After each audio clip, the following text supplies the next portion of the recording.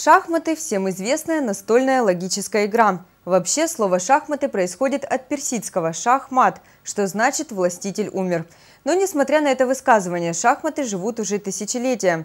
Настольные игры, шахматы и шашки развивают остроту и ловкость ума. Логическое мышление учит предугадывать ходы и строить стратегию. В детской юношеской спортивной школе «Белая ладья» вот уже 35 лет регулярно проводятся турниры для желающих удалить жажду азарта и просто получить удовольствие от игры.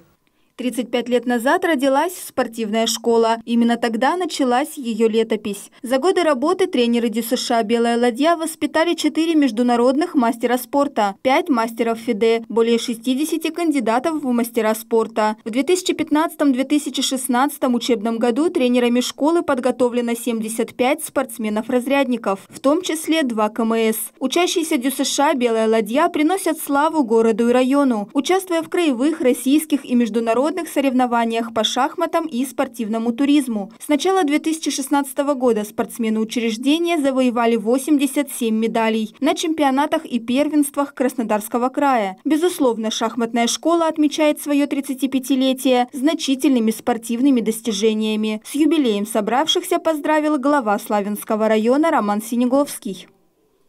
В целом, э, школа «Белая ладья», она имеет славную историю. 35-летнюю. Эту славную историю писали, э, наверное, тоже, как я уже сказал, э, наши учителя, и писали уже и мы с вами.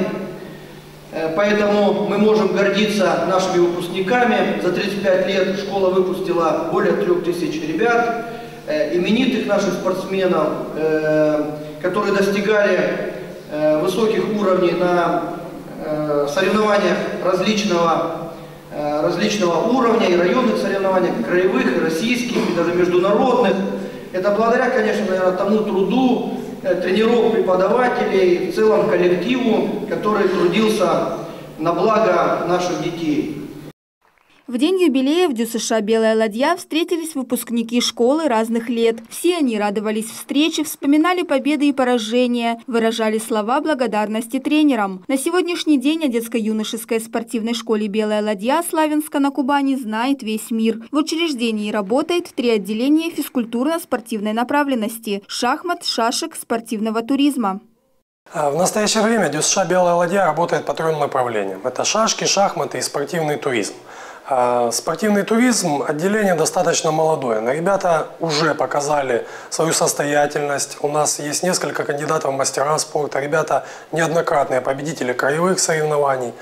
А, кроме того, а, наши шахматисты в прошлом году побывали на первенстве мира. Для нашей школы это большой успех. В настоящее время ребята завоевывают медали не только на краевых соревнованиях, но и на российских. А, наша школа взаимодействует со всеми структурами нашего района. Мы работаем как с малышами, так и э, с людьми а, уже возрастными.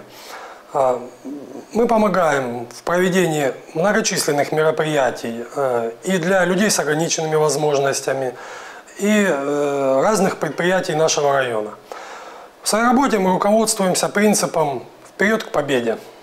После поздравлений и добрых слов от гостей праздника был дан старт открытому турниру по шахматам на Кубок главы муниципального образования «Славянский район». В нем приняли участие уже опытные шахматисты. Некоторые из них уже побывали на пьедестале, занимая призовые места не только в краевых соревнованиях, но и на российских и международных чемпионатах. Это праздник, это большой праздник для всего Славянского района. Не только для шахматистов, для местных. Вы видите, даже есть у нас один зарегистрированный с Хабаровского края есть.